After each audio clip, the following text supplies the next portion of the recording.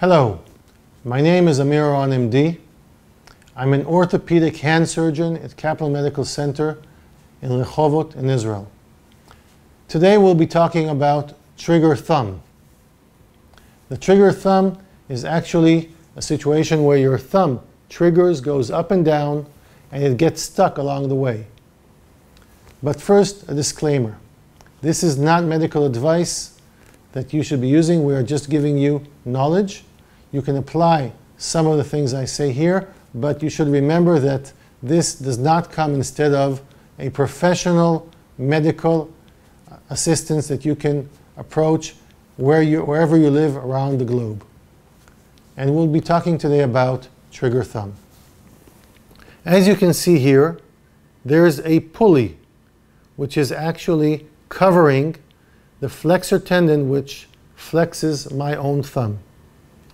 This pulley here keeps my tendon in check and holds it close to the bone. The pulley, when you have trigger thumb, becomes constrained and constrains the tendon. We recently published a paper talking about the proximal area of the pulley as being the culprit of this type of problem. So what happens is the pulley becomes uh, constrained, it presses down on the tendon, and you might, might have synovitis and inflammation and local pain here at the bottom of your thumb. The solution in this case is conservative versus surgical. Conservative treatment will include probably a splint, might include physiotherapeutic treatment, might include putting some local cream or taking general non-steroidal anti-inflammatory drugs. And if this all fails, we can also try using a local injection of steroids to the area of the pulley.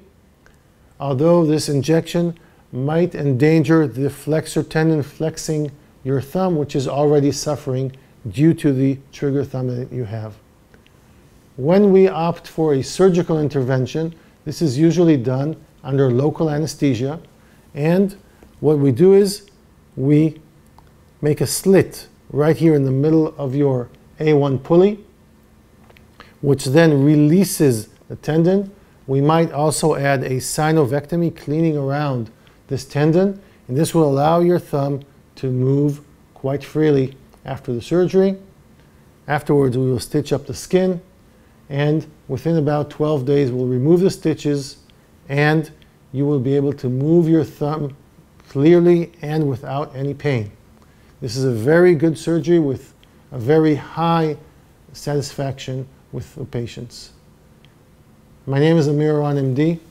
I'm an orthopedic hand surgeon and I would like to thank you for watching this movie and all the health to you. Thank you.